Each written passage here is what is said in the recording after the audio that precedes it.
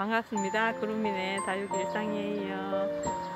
아, 오늘은 제가 그 멀구슬 나무 소개 한번 시켜드릴게요. 이 멀구슬 나무는 이 남부 지방 곳곳에 저희 저희가 사는 지역 근처 뭐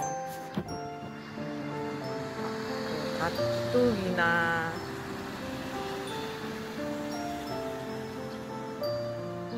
언덕배기 야산 이런 데서 분포하면서 아주 연보라색 꽃을 피워주고 있어요.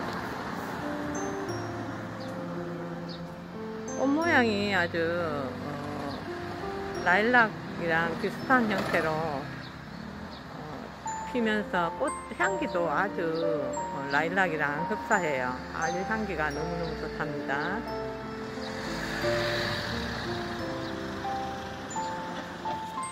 이렇게 키가 커요. 키가 많이 크거든요. 잘 크나 봐요, 얘가. 이맘때쯤이면 꽃이 너무너무 화사하고 이쁘게 펴져서 향기가 진동한답니다. 특히 저녁 무렵에 향기가 좀 좋거든요. 그래서 일부러 이거 향기 맡으러 나올, 밖으로 나올 정도로 아파트 근처에 있으면 진짜 베란다 안으로 향기가 들어올 만큼 너무 좋은 향기가 나요.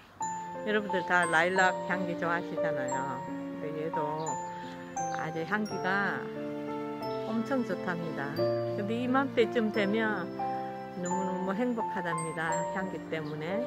그이 줄기나 이제 뿌리로 또 약효가 있어서 약용으로도 쓰인대요.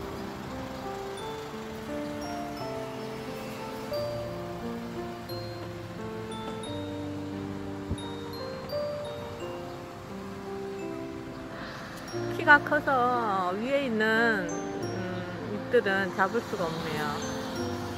어, 하늘이 비쳐가지고 제대로 보이지가 않았어요. 그나마 얘는 좀 낮은 곳에 있어가지고 여기 와서 촬영하게 되었네요. 여러분, 여기 여름에 이제 이 꽃이 지고 나면 여름에 초록 또 완두콩 같은 그런 열매들이 꽃자리마다 다 열린답니다. 그 열매가 이제 가을 되면 또 노르스름하게 익어가지고 새들이 좋아하는 먹이가 되는 거예요. 그래서 이 나무에 지금도 새 소리가 저 위에 새들이 있어요. 새 소리가 들리지만 새들이 먹이 먹으려고 많이 찾아오는 그런 나무랍니다. 아, 멀구슬 나무 주변에 있는지 한번 찾아보세요. 제가 여기 이쪽으로 남쪽 지방으로 오면서 만난 나무거든요. 저 위에서는 제가 보지를 못했어요.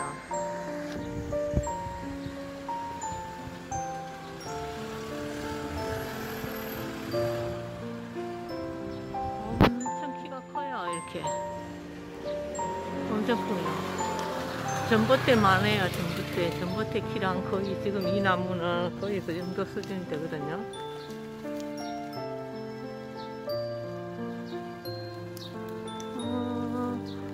이쁜 꽃을 제대로 못 담아서 좀 아쉽네요.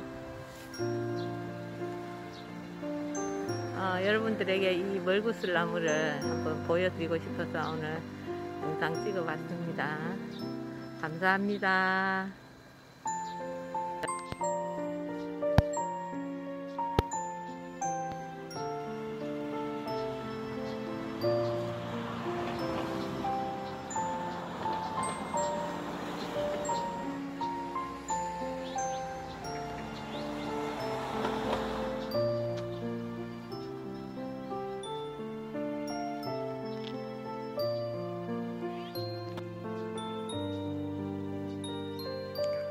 꽃이 꽃이 너무너무 예쁘죠? 제가 격가지 하나를 가까이 찍으려고 격가지 하나를 꺾었어요.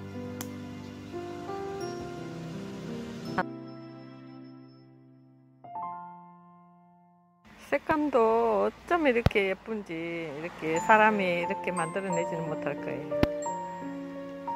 자연의 위대함을 느껴요. 이런 자연 잘 보호해야 되겠어요